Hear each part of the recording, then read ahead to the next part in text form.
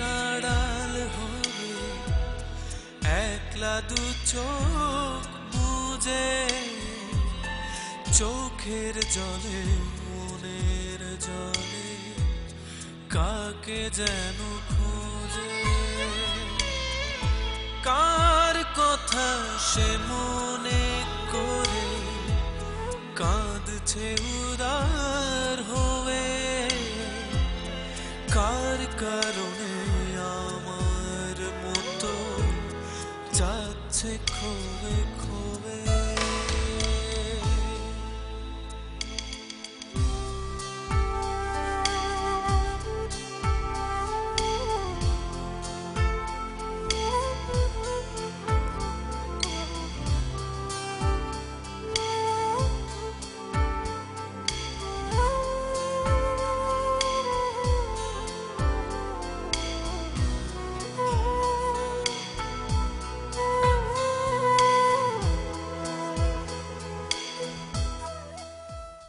অনেক দেরি করে বাড়ি ফিরছি। মামি আমার রুটিন জানেন কি মনে করবেন? আচ্ছা তমা ঢাকা শহরে কি কোথাও মন দেখানোর ব্যবস্থা আছে? মন দেখানোর ব্যবস্থা মানে? হুম থাকলে আমি একটু নিয়ে যাবে আমি না আমার মনটা দেখাবো। দেখাবো যে আমার মন তোমাকে কতখানি চায়। প্লিজ আর একটু বসো না তুমি। সত্যি বলছি তোমাকে যেতে দিতে ইচ্ছা করছে না। প্লিজ হুম প্রথম প্রথম তো তাই এরকম মনে হচ্ছে। পুরনো হয়ে গেলে সব ঠিক হয়ে যাবে। বুঝলে না বুঝলে না। বুঝলে এরকম বলতে পারতে না। ঠিক আছে চলো যাব।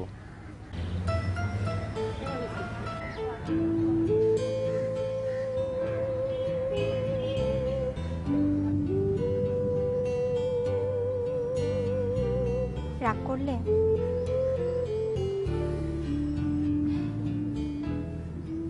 আমারও ইচ্ছে করে তোমার সাথে ঘণ্টার পর ঘণ্টা বসে গল্প করতে। কিন্তু আমার সমস্যাটা বোঝার চেষ্টা করো। আমি তোমার মতো এত বড় ফ্যামিলির মেয়ে নই। আমার মামা অনেক কষ্ট করে প্লিজ প্লিজ এসব বলো না তো, প্লিজ। তুমি আমাকে যা জানছো, যা দেখছ, সব তোমার জন্য। আর আমি তোমার জন্য সব করতে পারি। সব।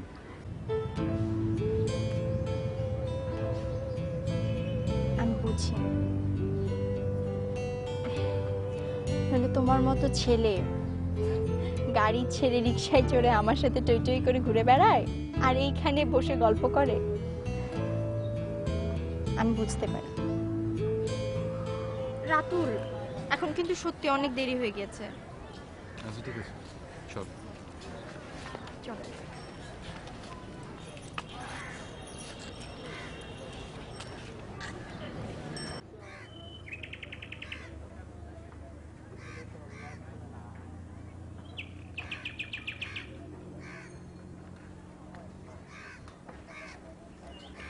ভাইয়া যাবেন তুমি যাবে না? হ্যাঁ যাব। গাড়ি আসবে? গাড়ি? হ্যাঁ গাড়ি আসবে। চলো না আমি তোমাকে নামিয়ে দিয়ে যাই। হ্যাঁ দরকার নেই। তুমি যাও। সিএনজিতে চড়তে সমস্যা? কি যে বলো না সিএনজি তুলতে অসুবিধা হবে না। তাহলে? আমি ভাবলাম যে সিএনজি তো তোমাদের এরিয়ার সামনে দিয়ে যাবে তোমাকে না হয় নামিয়ে দিয়ে যেতাম। একদিন সিএনজিতে চললে তো কোনো সমস্যা হবে না। চলো না প্লিজ থ্যাংক ইউ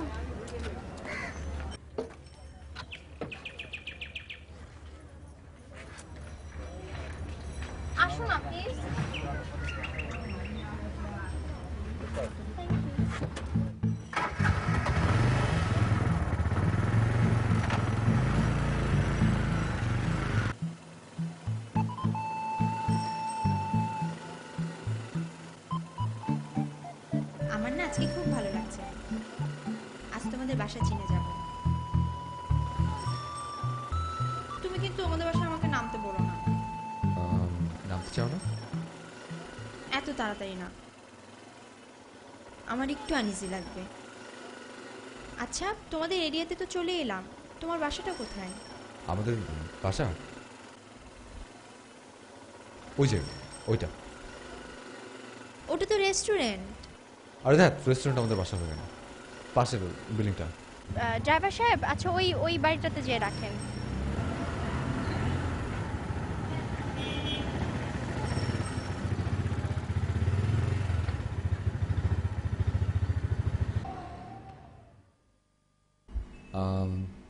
তুমি তাহলে নামছো না? বললাম তো। যাও তুমি ভেতরে যাও। যাব? তুমি ভেতরে না গেলে আমিও যেতে পারছি না। যাও।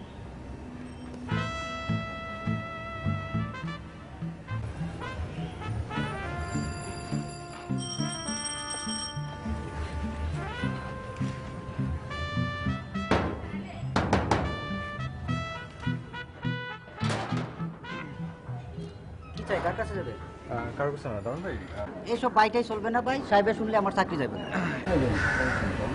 দারুণ ভাই প্লিজ আমাকে একটা মিনিটের জন্য ঢুকতে দেন নাহলে কিন্তু আর কয় কি? ডাকাত টাকাত নাকি? ছি ছি। দারুণ ভাই প্লিজ তোর মেয়ে বাইটাই করেন না তো আচ্ছা ঠিক আছে আপ- আপনি দুলাপে দারুণ ভাই এই মুহূর্তে যদি আপনি আমাকে ঢুকতে না দেন তাহলে আমার ভবিষ্যতে সংসার ভেঙে যাবে। ডাকাতি করবেন না তো? তিন সত্যি কন তিন সত্যি কেন? পাঁচ সত্যি তিপ্পান্ন সত্যি। দারুণ ভাই আমার পকেটে বিশ টাকা আছে আমি আপনাকে যাওয়ার সময় বক্সে দিয়ে দেবো ঠিক আছে? প্লিজ দারুণ ভাই। বাই তোমা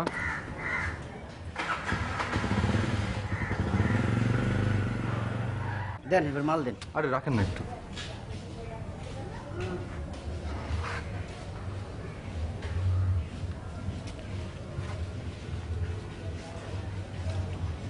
ওই সময় তো করলেন বিশ টাকা দিবে। এত কথা মনে রাখেন কেন? আচ্ছা যাই হোক। অনেক ধন্যবাদ। অনেক উপকার করলেন দারুণ ভাই। আরে ওই সময় জানি কি ভাই কইছিলেন?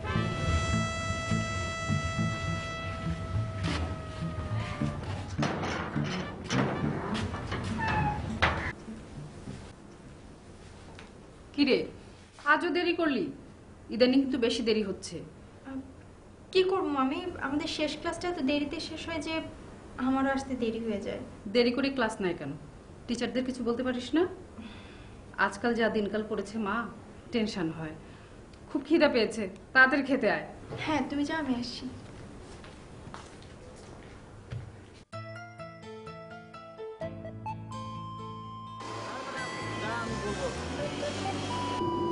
গান জানো? হুম? গান? না অবশ্য তুমি চাইলে শুনতে পারি। জানো না অথচ আমি চাইলে শোনাতে পারবে। সহ্য করতে পারব তো? তুমি চাইলে আমারও সহ্য শক্তির পরীক্ষা নিতে পারো। আমার গান তোমার সহ্য হবে। আচ্ছা? তাই? ঠিক আছে তাহলে আমি শুনতে চাই। কি? গান শুনতে চাই শোনো না। এখন? হ্যাঁ এখন। ওকে। এটা কি হলো? গান? সিডিতে। বাহ চালাকি? এটা তো আমিও পারি। হ্যাঁ কিন্তু করলে না তো। তোমার সাথে সংসার করা খুব কঠিন হবে। কেন? আমি আবার কি করলাম? এরকম বেহিসেবি লোক কখনো ভালো সংসারী হতে পারে না। আমি? আমাকে যে কত হিসেব করে চলতে হয় তুমি যদি তা জানতে। হ্যাঁ তা তো খুব বুঝতে পারছি। এতগুলো খাওয়ার যে অর্ডার করলে এটাতে কি প্রমাণ হলো? তুমি খুব হিসেবি? আমি তো তোমার জন্য এসব করলাম। পেয়েছ নাকি? আমার তো খাওয়া শেষ এখন এতগুলো খাবার কি হবে? নষ্ট হবে না? আর দূর আমি কি বুঝতে পেরেছি নাকি যে ওরা এত কিছু দিবে? Waiter bill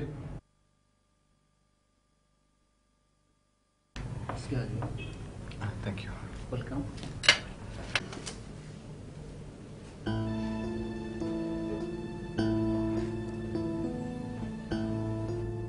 কোনো অসুবিধা? হ্যাঁ? না আহ, ইয়ে তমা তুমি একটু গাড়ি থেকে বসো আমি আসি আর ওই ক্রেডিট কার্ডে বিল দেবো তো? খুব দেরি হবে? না ওকে। তাড়াতাড়ি এসো হ্যাঁ।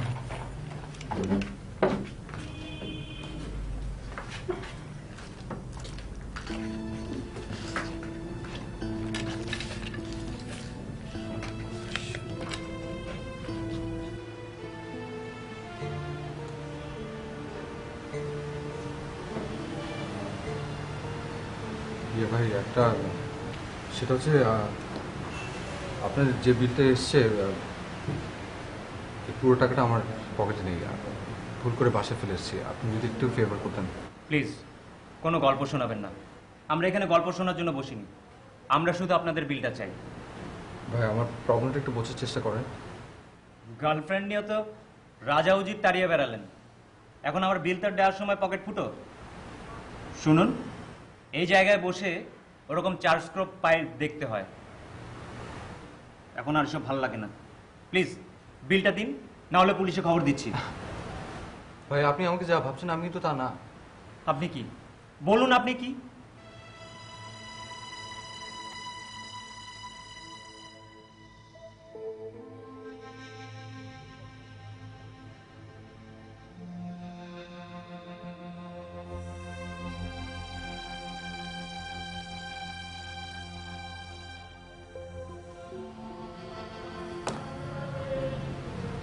এগুলো রাখুন এই সব কিছু মিলে নিশ্চয়ই আপনার বিটা পরিশোধ হবে। আরে এই ঘড়ির দাম তো বাজারে দুশো টাকার বেশি হবেই না।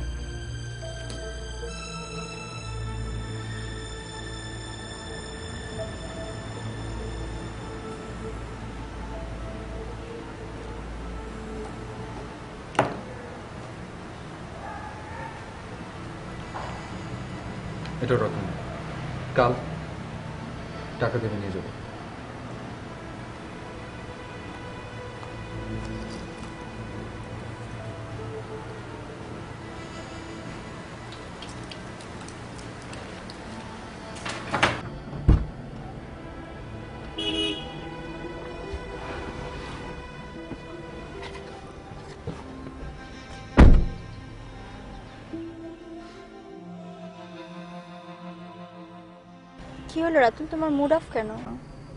হুম? কই না তো। আর তোমার গলার চেনটা কোথায়? আচ্ছা তো। আছে কিন্তু আমি তো দেখছি না। কি জানি মনে হয় বাসা টাসা ফেলে এসছে মনে হয়। আমি তো সকালেই দেখলাম।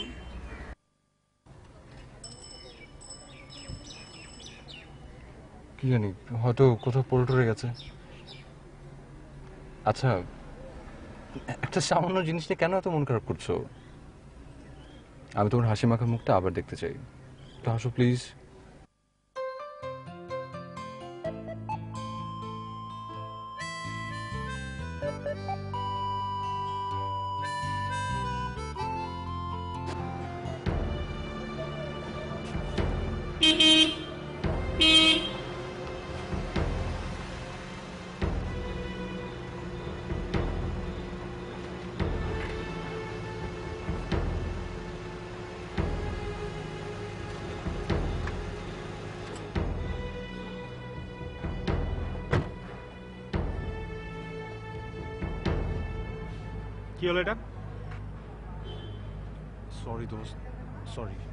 কিসের সরি বাজে কয়টা এখন? তোর আসার কথা ছিল কয়টায়? চারটা বাজে ম্যান চারটা। তোর বারোটার মধ্যে গাড়ি নিয়ে আসার কথা। আমার দিক থেকে বোঝার চেষ্টা করতো। কি বুঝব আমি? তুই আমারটা বুঝেছিস একবারও? আব্বু ট্যাক্সি নিয়ে বাসায় ব্যাক করে আর আমি ফ্রেন্ডকে গাড়ি দিয়েছি প্রেম করার জন্য। শুভ প্লিজ তোমা আছে এখানে। তো আমি কি করব? রাতুল। ইয়ে তোমা আহ, ওই হয়েছে কি, শুভকে নিয়ে আমার বাসে যাওয়ার কথা ছিল। আমি অনেক দেরি করে ফেলেছি, দেখে ও ভীষণ রাগ করেছে। আর ওর আর কি গাড়িটাও দরকার ছিল। এই জন্যে। শুভ, চল আমার সাথে বাস- চল। বাসা? কার বাসা? তোর বাসা তো ওই হল। প্রেম করবি বলে তুই আমার ফেভার চেয়েছিস। তোকে সব ধরনের ফেভার আমি করেছি। টাকা চেয়েছিস, টাকা দিয়েছি। গাড়ি চেয়েছিস, গাড়ি দিয়েছি। কিন্তু আজকে এই কাজটা কীভাবে করলি তুই? আমি আব্বুকে এখন কি অ্যান্সার দেব? রাতুল! তোমা? তোমা প্লিজ একটু শোনো। শোনো? প্লিজ আমার কথা একটু শোনো। আমাদের বন্ধুদের মধ্যে এসব প্রায়ই হয়ে থাকে এটা কোনো ব্যাপার না। রাতুল আবারও মিথ্যা। এরকম এরকম কয়টা মেয়েকে তুমি সুন্দর স্বপ্ন দেখিয়েছো হ্যাঁ? তুমি কি ভেবেছো যে সত্য, মিথ্যা বিচার করার মতো বুদ্ধি কি আমার নেই? আমাকে তুমি এতটা লোভী ভেবেছো? হ্যাঁ আমি মেনে নিচ্ছি যে আমি বৃত্ত চেয়েছি, প্রাচুর্য চেয়েছি, সুন্দর জীবন চেয়েছি, কিন্তু এইভাবে রাতুল, আমি তোমাকে ভালোবেসেছি। এই মানুষটিকে তোমার তুমি তুমি বিশ্বাস করো আমি তোমাকে তুমি আমার নাম উচ্চারণ করবে তোমার মুখে আমার নাম শুনতে ভালো লাগে না। রাতুল আমি এত অল্প সময়ে কাউকে এতটা ভালোবাসবো আমি কখনো চিন্তাও করি সেই ভালোবাসার মানুষ আমার ভালোবাসাকে এতটা অসম্মান করবে আমি কখনো চিন্তাও করিনি তুমি ভুল বুঝছ। আমি তোমাকে ভালোবাসি অসম্মান করব কেন? না সেই তো তুমি তো আমাকে অসম্মান করনি, আমার ভালোবাসাকে অসম্মান করনি। অন্যের বাড়ি, অন্যের গাড়ি নিজের বলেছ। এটা কোনো অসম্মান না, এটা আমার জন্য অনেক অনেক সম্মানের বিষয়। আচ্ছা রাতু, তোমার কি লজ্জা হয় না? তুমি যে এতগুলো মিথ্যে কথা বললে, তোমার কি একটু লজ্জা হয় না? হয় না। আমার লজ্জা হয় না। কারণ আমি আমার এত বছরের জীবনেই একটা মাত্র অন্যায় কাজ করেছি, সেটা তোমার সাথে। তোমার এছাড়া আমার কাছে কোনো উপায় ছিল না। তোমার মতো একটা উচ্চাকাঙ্ক্ষী মেয়েকে পাবার জন্য এটা ছাড়া আমার কি রাস্তা ছিল বলো তুমি? আমি কি করতে পারতাম? কি করতে পারতাম আমি এই অবস্থায়? আমার এই অবস্থায় আমি তোমাকে পাওয়ার জন্য আমি কি করতে পারতাম? তোমার তুমি বিশ্বাস করো, তোমাকে হারানোর কোনো রিস্ক আমি নিতে চাইনি। তাই তো? অনেক হয়েছে, রাতুল। অনেক হয়েছে। আমি উচ্চাকাঙ্ক্ষী নই। রাতুল, ভালোবাসা মানুষকে সৎ করে, অসৎ করে না। ভালোবাসায় ভালোবাসায় কোনো মিথ্যে থাকে না। আমি তোমাকে সব কিছু সৎভাবে খুলে বলতাম। কিন্তু আমি ভেবেছিলাম যে সেই সময় আসেনি তাই সত্য বলার জন্য কোনো সময় লাগে না। আর যে সম্পর্ক শুরুই হয়েছে মিথ্যে দিয়ে তার মধ্যে কোনো সত্য থাকে না। সেটা কখনো সেটা কখনো টিকে থাকে না রাতুল। আমাদের সম্পর্কটা তো মিথ্যা না। কিন্তু এর শুরুটা তো মিথ্যে। তোমার প্লিজ প্লিজ তোমার বিশ্বাস করো। আমি আমার সমস্ত ভুল স্বীকারের বিনিময়ে শুধু একটা ব্যাপারে আমি তোমার কাছে সত্য বলে প্রমাণ করতে চাই। সেটা তোমার প্রতি আমার ভালোবাসা। এর মধ্যে কোনো কিন্তু নেই কোনো মিথ্যে নেই কোনো কিছু নেই। আমি তোমার কোনো কথা বিশ্বাস করি না। আমি তোমার কোনো কথা বিশ্বাস করি না রাতুল। নিজের উপর আমার আজ খুব ঘৃণা হচ্ছে। রাতুল, তুমি যদি আমাকে সত্যিকারের একদিনের জন্য ভালোবেসে থাকো, তাহলে দয়া করে আমার সামনে কখনো আসবে না। তোমার এই চেহারা আমাকে কখনো দেখাবে না।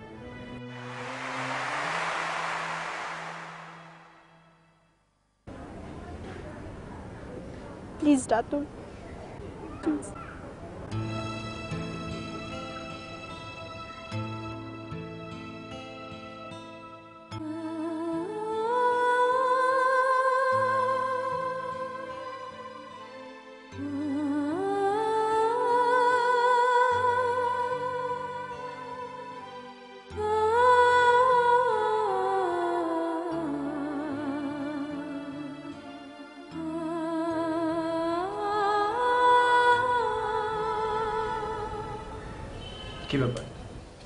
না চাইতে ধারের টাকা শোধ করছিস? পাওনা টাকা যত তাড়াতাড়ি সম্ভব শোধ দেওয়াই ভালো। শুধু তো তোর এক হাজার। টাকা ফেরত দেওয়ার এত তারা কিসের তোর? আমার টাকাটা পরে দিলেও চলতো। বাড়ি থেকে টাকা পাঠালে ভালো মতো ওদের টাকা শোধ করি। সবই তো আমাদের দিয়ে দিলি। সামনে পুরা মাস চলবে কি করে? এখনও চলার চিন্তা করছি না। মানে? আমি ঠিক করেছি আমি ইউনিভার্সিটিতে যাব না।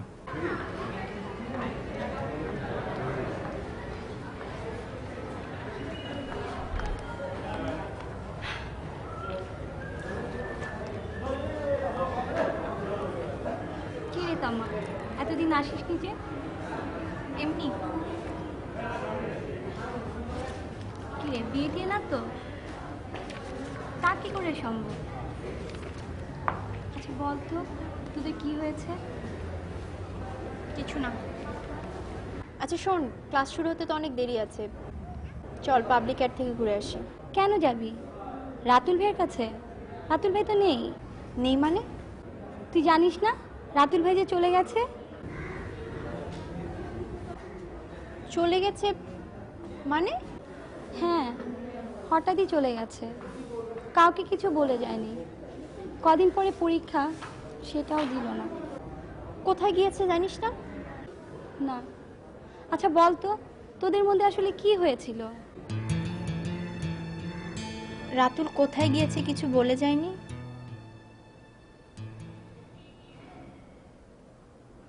ও আপনাকে মিথ্যে বলেছিল কিন্তু সেটা তো আপনাকে পাবার জন্যই। ও আপনাকে প্রচণ্ড ভালোবাসে আর আপনার কথা রাখবার জন্যেই সে চলে গেছে। আমার কথা রাখবার জন্য মানে? আপনি তাকে বলেছিলেন যেন আর কোনো দিন আপনাকে তার চেহারা না দেখায় তাই সে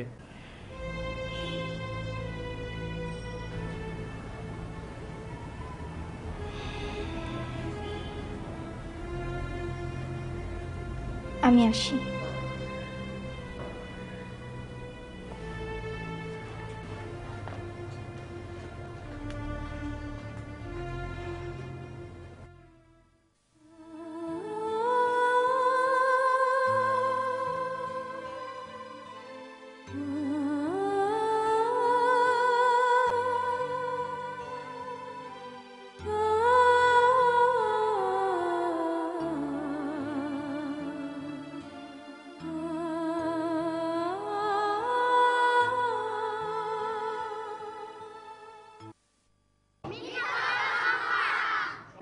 মিথ্যে মহাপাপ।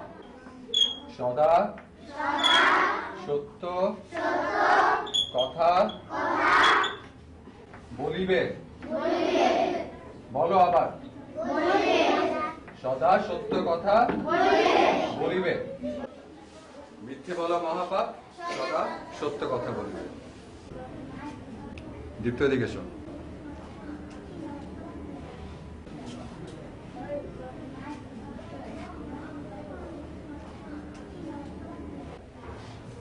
হাতে মাটি লেগেছে কীভাবে? কি আবারও মার্বেল খেলেছ? মার্বেল খেলনি? না। তাহলে মাটি লেগেছে কীভাবে হাতে? কাকির বাড়ি না কাকির বাড়ির কুত্তা দৌড়াই দিল তাই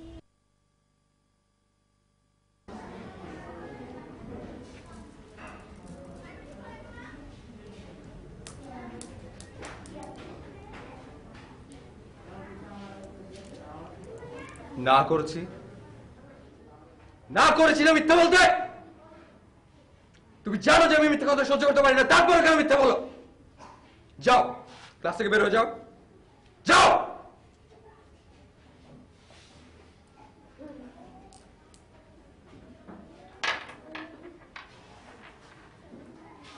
তোমাদের সবাইকে আমি একটা কথা বারবার বলি।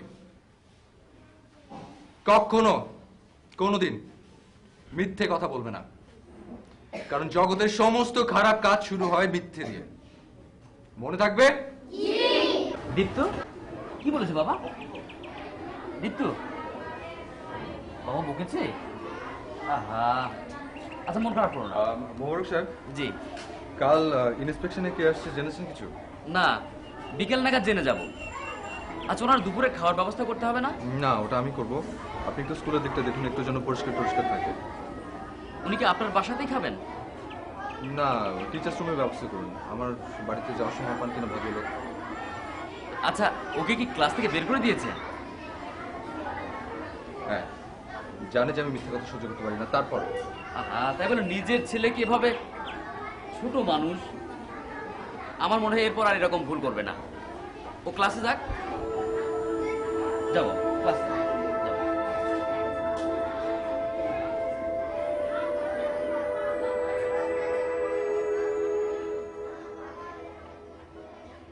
আহ, দীপ্ত কি হলো? পরের আওয়াজ পাচ্ছি না কেন?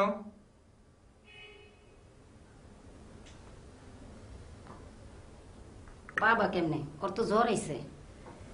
দীপ্ত জ্বর এসছে? আসবে না তো কি? তুমি যেই বকাঝকা করছ পোলাপান মানুষ। না হয় একটু মার্বেল খেলছে। তাই বলে এইভাবে বকাঝকা করতে হয়। ওই বয়সে তুমিও কি কম করছ? দুষ্টমির জন্য বকিনি খালা। দীপ্ত মিথ্যে বলেছে। আর তুমি জানো যে আমি মিথ্যে কথা সহ্য করতে পারি না। কামটা তুমি ভালো করো নাই। ওর মা মরে যাওয়ার পরে তুমি ওর মা তুমি ওর বাপ। আজ পালক পোলা বলে তুমি ওর এইভাবে বকবা? এসব তুমি কি বলছো খালা? দীপ্তকে ছোট্ট থাকতে যখন দুই বছর বয়স তখন আমি ওকে নিয়ে এসেছি। আমি তো কখনো ওকে বুঝতে দিইনি যে আমি ওর বাবা নই। মা বাবার দুজনের আদর আমি ওকে একাই করেছি। করবা না কেন? বিয়া করো নাই। মায়ের আদর তো তোমারই দিতে হইব। শুনো এখনও সময় আছে। বিয়া করো। আমি মরে গেলে রাইন্দে বেড়ে কে খাওয়াইব? পালক পোড়ার কোনো ভরসা আছে? পালক তোমরা মনে করো। আমি না। ওই তো আমার সব।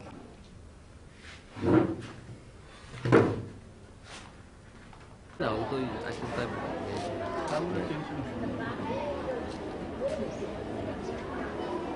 শুনুন, উনি আসবেন কোথেকে উনি আসবে আশুলিয়া থেকে। আচ্ছা। আপনারা বাড়ি দাঁড়িয়ে আছেন? সময় তো হয়ে গেল আসা আমরা এখানেই থাকি নাকি? না না না না সবাই মিলে এখানে দাঁড়িয়ে থাকতে ভালো আপনার বরং যার যার ক্লাসে। আর ইন্সপেকশনে যদি আসে আমি রিসিভ করব নিয়ে যাব ক্লাসে আর আমি তো সব আপনার বোঝানো হয়েছে ছাত্রদের যে আমি বুঝিয়ে দিব। ঠিক আছে তাহলে যার যার ক্লাসে আমি আপনার সঙ্গে থাকি স্যার।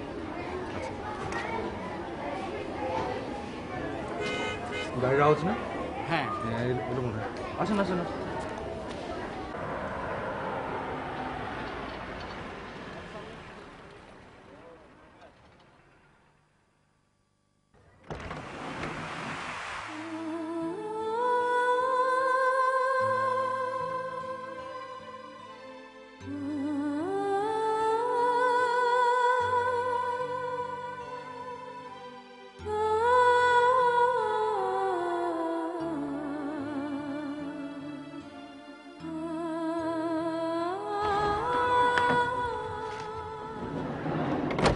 আসসালামু আলাইকুম।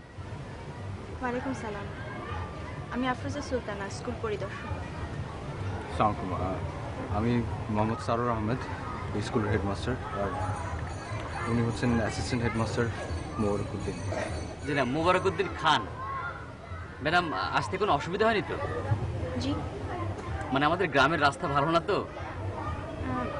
না কোনো সমস্যা হয়নি। ক্লাসে যাওয়া যায়? জি। মোবারক সাহেব, আপনি ক্লাসে যান, আমি নিয়ে আসছি।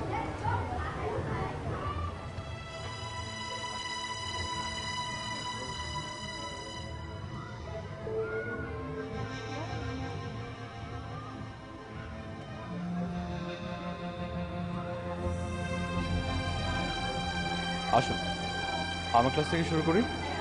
প্লিজ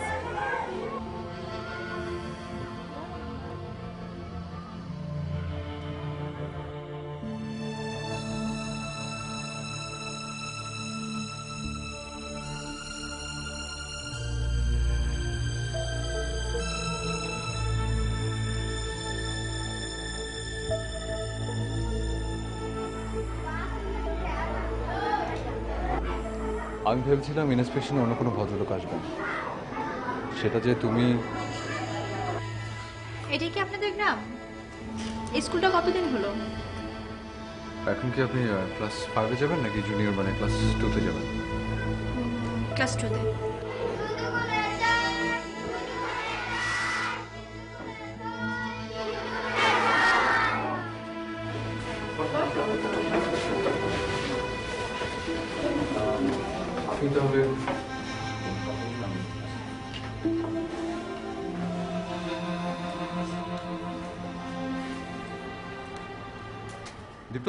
এদিকে?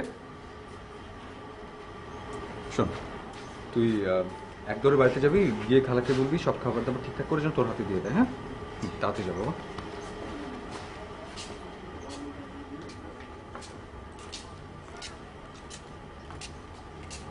তো কেমন দেখলেন আমাদের ছেলেমেয়েদের আর আচ্ছা। এলাকার সবচেয়ে সেরা স্কুল হিসেবে আমাদেরটা বলতে পারেন আপনি? গতবার ট্যালেন্ট পুলে কয়জন বৃত্তি পেয়েছিল? গতবার পাইনি তবে তার আগের বছর একজন পেয়েছিল। তুমি সরি মানে আপনি যদি একটু ভালো মতো লিখে দিতেন। দেখে গেলাম। কোনো কোনো স্কুলের চেয়ে অনেক ভালো তবে আমার মনে হয় স্কুলটাকে ভালো করা যেতে পারে। যদি শিক্ষকরা সবাই আমরা ম্যাডাম দিন রাত চেষ্টা করছি। এখন ভরসা ম্যাডাম আপনি। আম, আমি আজ আসি। আমরা দুপুরে আপনার খাবার ব্যবস্থা করেছিলাম। তার কোনো প্রয়োজন নেই। আসলে আমি আরও দুইটা স্কুল ইন্সপেকশনে যাব। খালি মুখে যাবেন ম্যাডাম? এটা ঠিক হবে না। অফিস রুমে আপনার খাবার ব্যবস্থা করা হয়েছিল। আর কার উপর রাগ না রেখে যদি একটু খেয়ে নিতেন। দীপ্ত বোধ হয় এতক্ষণে চলে এসছে। দীপ্তকে? ম্যাডাম ওইদিকে অফিস রুম। চলেন। আমাদের গরিব স্কুল। চলেন।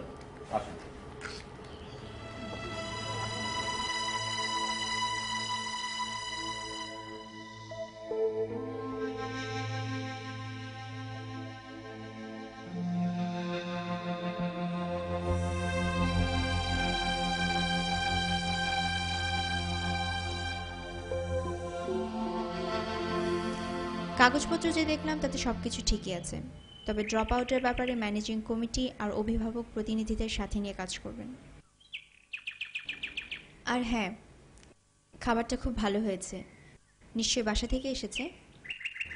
আপনার ওয়াইফকে আমার ধন্যবাদ দেবেন।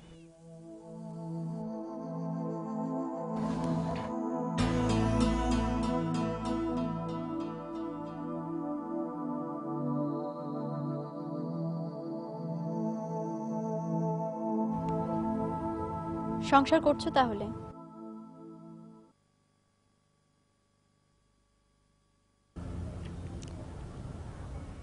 আপনার হাজবেন্ড কি করেন? আমি এখন আর ডিউটিতে নেই। তুমি আমাকে তুমি করে বলতে পারো। আমার হাজব্যান্ড বিজনেস করছেন। সেটাই স্বাভাবিক। সেটাই আশা করেছিলাম। বিজনেস না করলে তো আসলে বড়লোক হওয়া যায় না। ছেলে মেয়ে? একটা মেয়ে ক্লাস থ্রিতে পড়ে। তোমার ছেলে মেয়ে? দীপ্ত? বাবা আমাকে ডেকেছো? হ্যাঁ। আমার ছেলে দীপ্ত। ওকে তো আমি কিছুক্ষণ আগেই দেখেছিলাম মনে হয়। তুমি বিয়ে করেছ কবে? এই তো ঢাকা থেকে ফেরার পর পরই তোমার বউ কেমন? নিশ্চয়ই খুব সুন্দর? ভালো। হ্যাঁ সুন্দর। আমার ছেলে দীপ্তর মতো।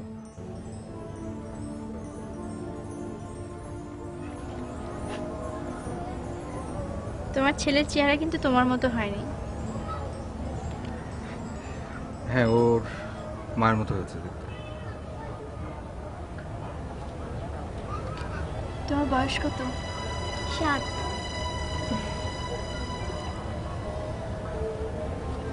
আসি তাহলে।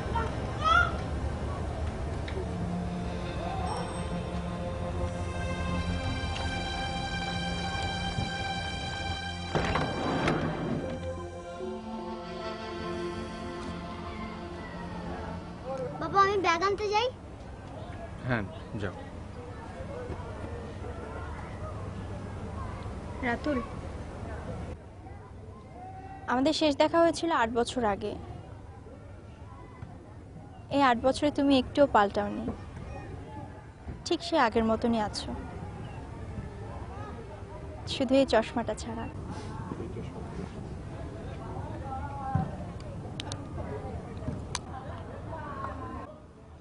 তুমিও কিন্তু একটুও বদলাওনি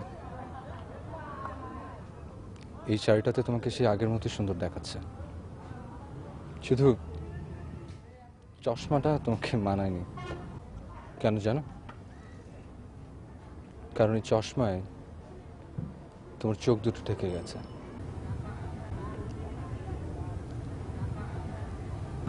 আমি আসি।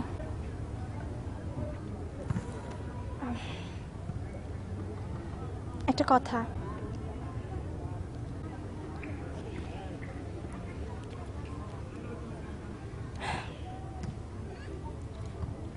এটা তোমার।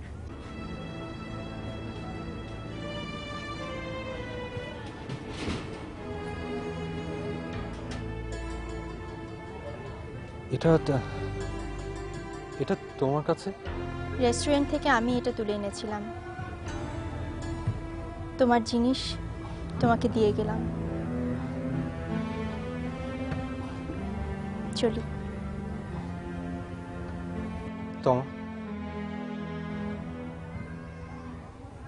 কিছু বলবে? তুমি কি সুখী? ভালো আছো তুমি?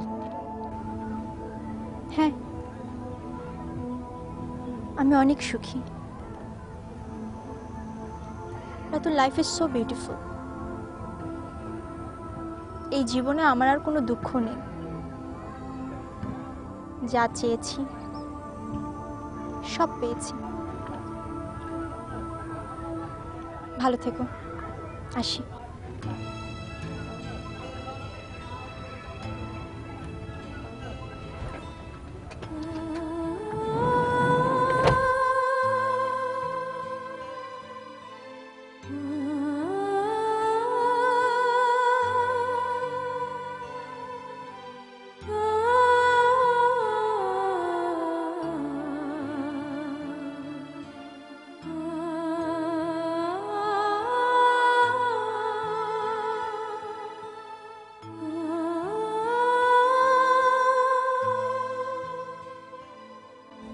জীবনে আমি কখনো কোনো দিন মিথ্যে বলিনি। এই মিথ্যে কথার জন্য একদিন আমি তোমাকে ছেড়ে গিয়েছিলাম, রাতুল। কিন্তু আজ জীবনের শেষ প্রান্তে দাঁড়িয়ে আমি তোমার সাথে মিথ্যে কথা বললাম। আম সো সরি এই বিশাল পৃথিবীতে আমি একা, বড় একা। তোমার ভালোবাসা বুকে নিয়ে আমি বেঁচে আছি। সকল শিশুই আমার সন্তান। রাতুল, আমি তোমাকে আজও খুব ভালোবাসি। খুব। ভালো থেকো।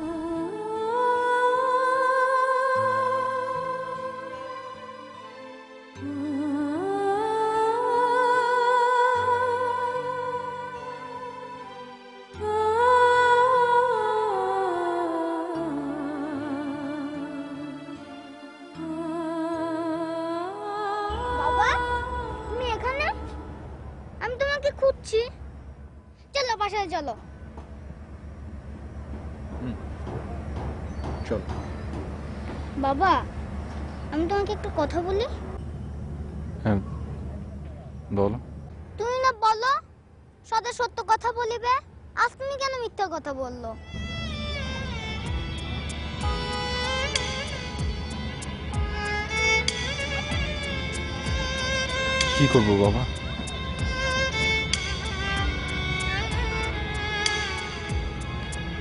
ভালোবাসি যে। ওই যে আকাশ হবে, একলা দু চোখ বুঝে, চোখের জলে, মনের জলে, কাকে যেন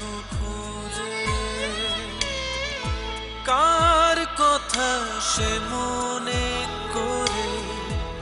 কাঁদছে উদার হবে কার কারণে আমার মতো যাচ্ছে খোবে